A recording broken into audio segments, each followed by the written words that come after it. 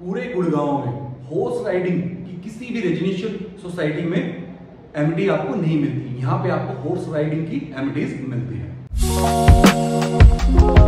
Hello कैसे आप लोग? सभी अच्छे होंगे? मैं राज यादव। आज आपके लिए bank on Dwarka express sector 106 में एक बहुत अच्छा प्रोजेक्ट रिसेल में लेके आया हूँ। मैं बात कर रहा हूँ एलान द प्रेसिडेंशियल की।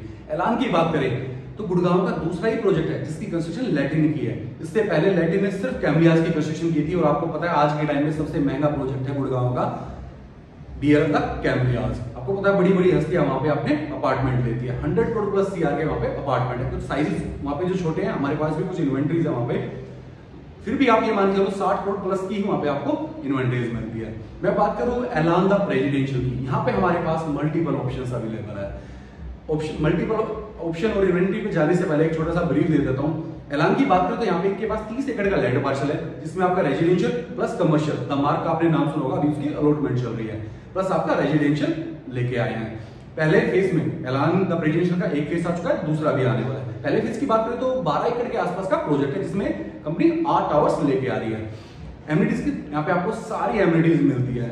आपका indoor game outdoor game club house एक लाख स्क्वायर फीट का यहाँ पे आपको क्लब हाउस मिल जाता है। साइजेस की बात करें कंपनी यहाँ पे आपको three B H K four B H K five B H K plus penthouses offer करते हैं। Three B H K size की बात करें, चौबीस सौ पचास स्क्वायर फीट छब्बीस सौ स्क्वायर फीट वहीं फोर बी एच की बात करें, तीन हज़ार पिचानवे स्क्वायर फीट प्लस तैतीस सौ पिचानवे स्क्वायर फीट वहीं फाइव बी एच के में चार हज़ार पिचानवे स्क्वायर फीट और चौवालीस सौ पिचानवे स्क्वायर फीट के साइजेस मिलते हैं। पेंट हाउस की बात करें तो तिरपन सौ स्क्वायर फीट से लेकर चौहत्तर सौ अस्सी स्क्वायर फीट तक के यहाँ पे आपके पेंट हाउसेज हैं।